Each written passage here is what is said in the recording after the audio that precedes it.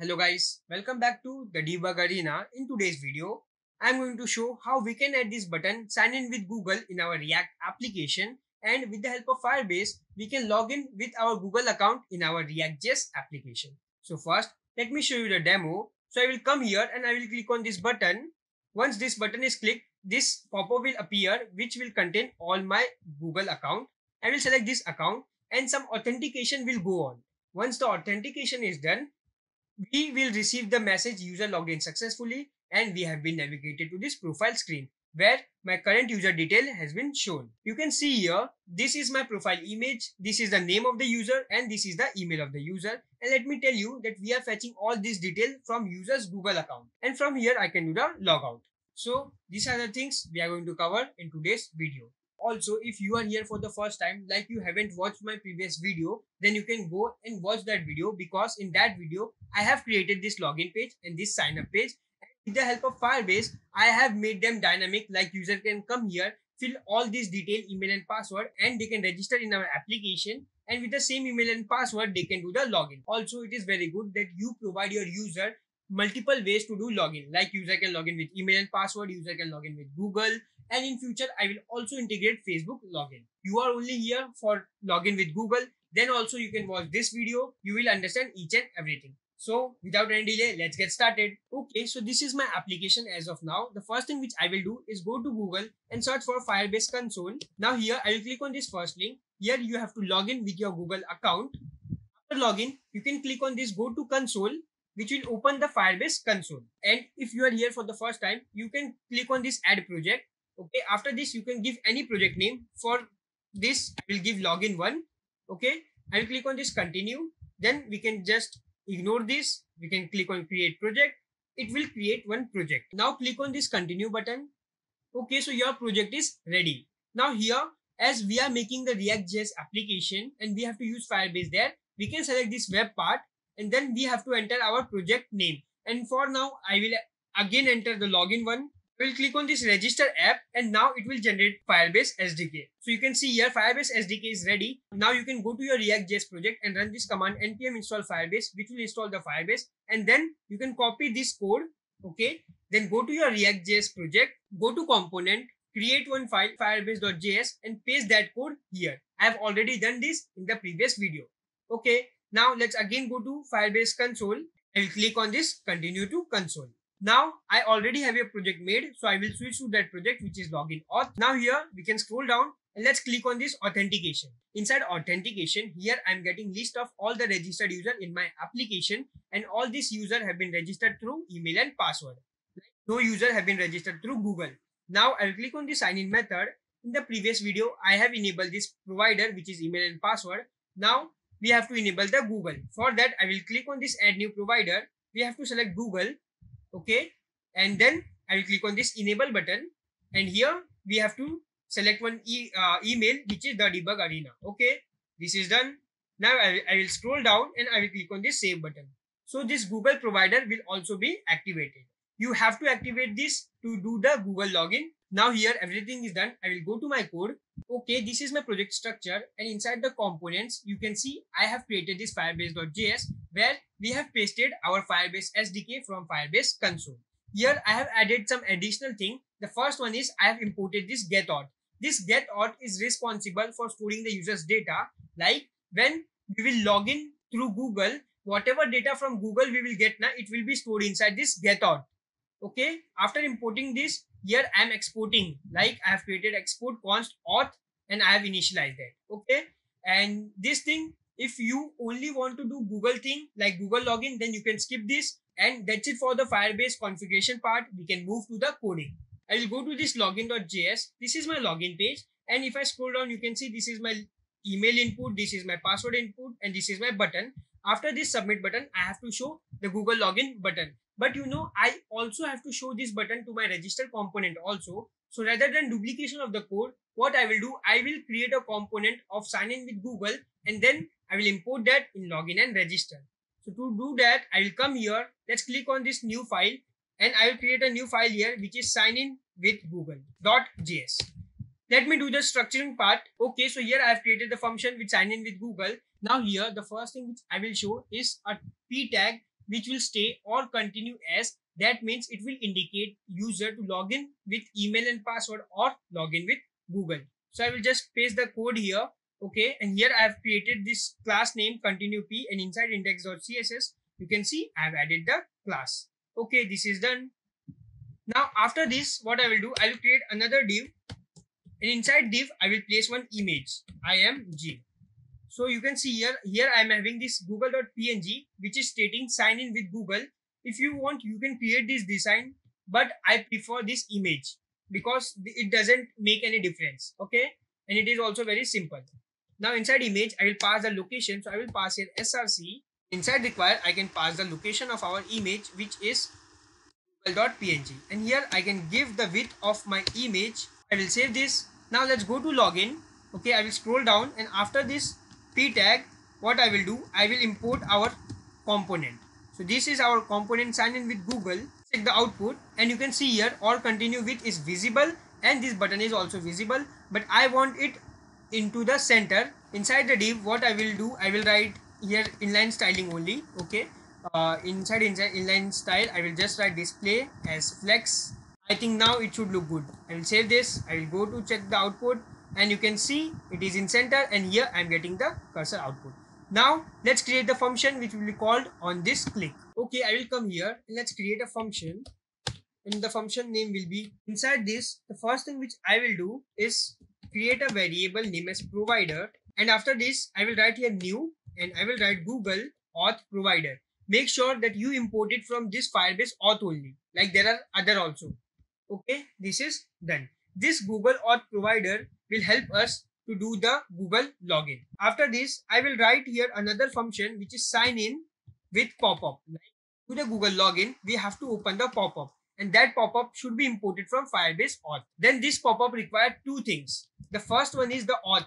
In the starting only, I have told you like whatever default function we use from the Firebase and whatever data we get, that data will automatically be stored inside this auth. Also, this auth is containing our Firebase configuration. Like you can see here, all these are present here.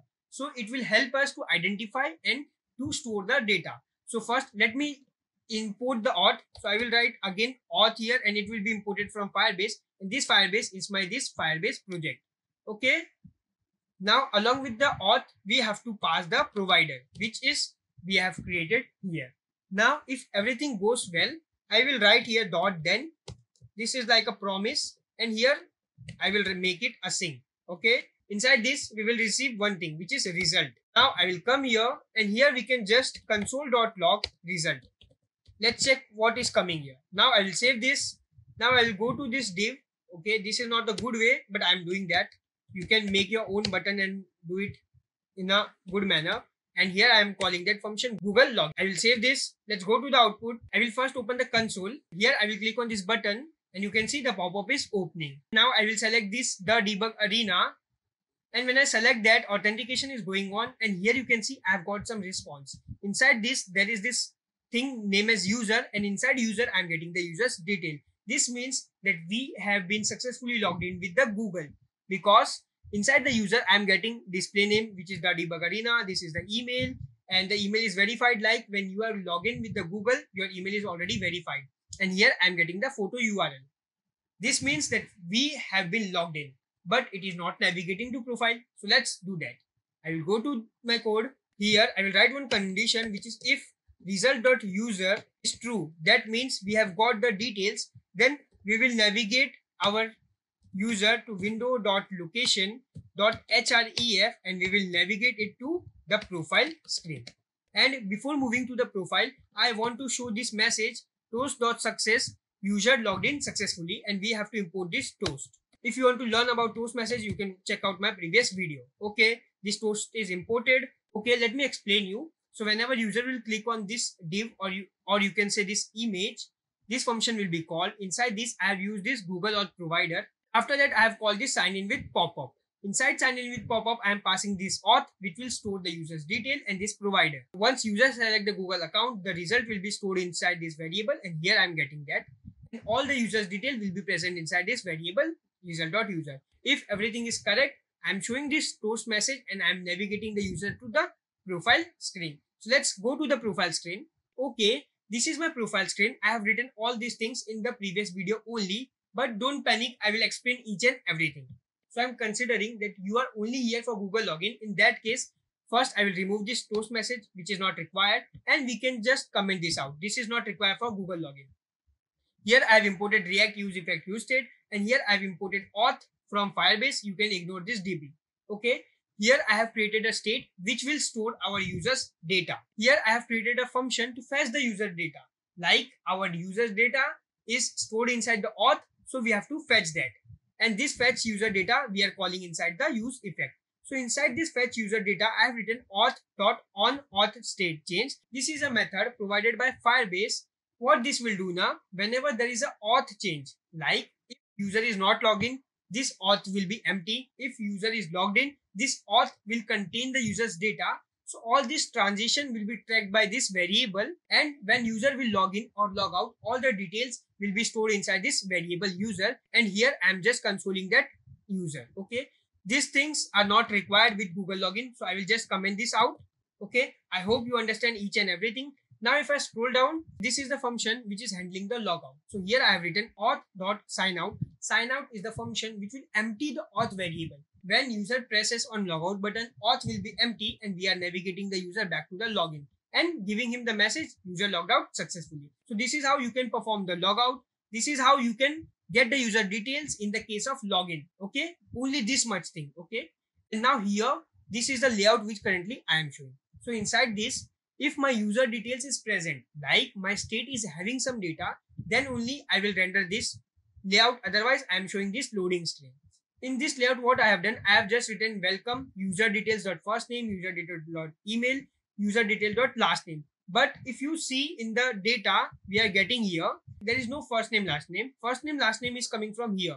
So for now, what I will do, I will come here, okay, and I will just comment this out and here instead of the first name i will just write display name now i will save this let's go to the application click on sign in with google choose the debug arena okay it has been moved to profile but you can see it is in loading state. This is in loading state because this user details is empty.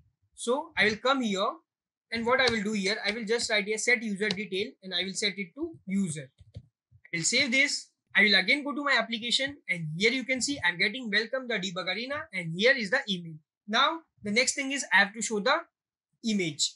And here you can see I'm getting the image inside this photo URL. So let me just style that first. Okay, I will come here and I will add this code. So here what I have done, I have created a div. Inside div, I have created this image. Width is 40%. Border radius is 50%. Display flex, justify content.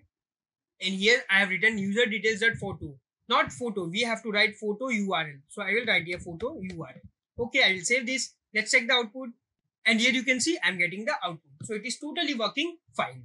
Also one more thing, always make sure to add this type of condition because it take time to fetch the data, load the data and then load it inside the image. So sometime it might happen that image is loading after this div has been rendered and you will not see the image. So it is always better to add this type of condition. So this was it if you are only following for Google login. Now let's see how we can merge all of these things. Like from the Google login, I will get only this much data like photo URL, display name and email. But what if I want to store first name and last name also? So let's do that. How we can store all of these things and get the data. So whether your user is login with email and password or Google, he will get the same output. Okay, to merge them, the first requirement is that you must have watched my previous video. Now I'll go to register in register, you can see here inside this handle register, after our user is registered, we are storing that registered data in this Firestore also. So here we have to add one more field which is photo. Okay, and for now I am keeping it as null so that this photo variable will be created every time any user is registering. So this part is done. From the register, I will copy this thing. Okay, await. Now in this sign in with Google, after user is logged in with the Google, this result dot user will be true. So in this, I will write here await set doc user user ID and here we are passing email as user dot email which is correct. First name should be display name. Okay. So I will write here user dot display name. So whatever display name is inside the user's Google account, it will be stored inside the first name. We will not set name here okay and for the photo we will set the photo url so here i will write user dot and it is done and also last name i can keep it as empty. Now i will save this. So now what will happen? Whenever user is trying to log in with the google okay he is logged in. After that his detail will also be stored inside the firebase. This same case is following in the register also. So now both the thing are in sync. Now only remaining thing is that in profile we have to get the data not from the user google login but from the firestore so for that i will come here. Now i will first remove this set user details. Okay i will uncomment this. I will also uncomment this line. So here we were getting the data from firestore. Okay this will be as it is. There will be no change. Changes will be in the variable name. So here it was user details dot photo url but it will be changed to photo because now we are fetching the data from firestore. Okay in the same way this display name will be changed to first name. And here also i can write user dot first name and user details dot last name. Now i will save this. After this the first thing which you have to do is go to firebase console. Okay these things are not defined. So let's go and define that. So i'll go to sign in with google. Here i will import set doc doc from firebase firestore and db from firebase. Okay this is done. And here the user is not defined so what i will do i will just copy this. I will come here. Let's create a variable user. And i will just assign result dot user to this. Now it is good. I will save this. Okay i will come here. After doing all the modification you have to come here. Go to user. Now here you have to come and search for the google account which you have already registered and you have to delete that. Because at the time we have done the google login there was no firestore storage. Okay? So that's why we are getting null here hope you understand this thing okay? And yeah there is no google account. Now i will go to my react app i will do the logout okay? Now i'll click on the sign in with google. So it is generated it is moving to profile and here you can see i'm getting the profile image done. Welcome the debug arena. Email the debug arena. First name the debug arena. And the last name is nothing because we haven't stored the last name okay? So for now we can just comment this last name thing so i will come to this profile i will comment this out last name okay perfect now what i can do i will just go here let's go to the firebase sorry firestore and in the Firestore, we have this collection user, which is containing the user UID. Yes, this user UID is same user UID, which we are getting here. So inside the collection, we are creating the users based on this UID. Okay, so let's search for this QQO. So here, if I scroll down and you can see this is QQO. If I open this, you can see it is having email, first name, last name, and photo. All of these things we have stored from Google account. Also in the Firestore, one more thing you have to do is come here and go to rules and inside the rules, you have to modify the rules. Okay, so whatever rule previously was written, just comment that out or remove that and add this rule and then just save that. Okay, then it should totally work fine. Now let's see another thing. I will just do logout. Now I will try to do login with email and password. I will click on submit and you can see I've got user login successful and here I'm getting welcome others others email first name and I'm not getting image because we are not having anything in image. Okay. So that's it for the video. I hope you have understand each and everything. And if you have any doubt, then please let me know in comments. I will try to help you. Also in the next video, I will cover the email verification thing like whatever email user is entering at the time of registering, we will verify that first, then only user can do registration with the help of Firebase. So stay tuned for that. Thank you for watching the video.